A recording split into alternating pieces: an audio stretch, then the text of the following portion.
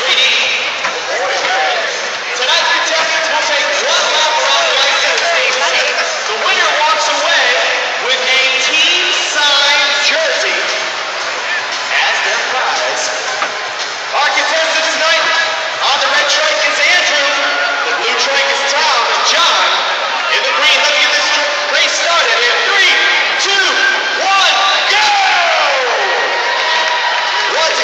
Strike Racing brought to you by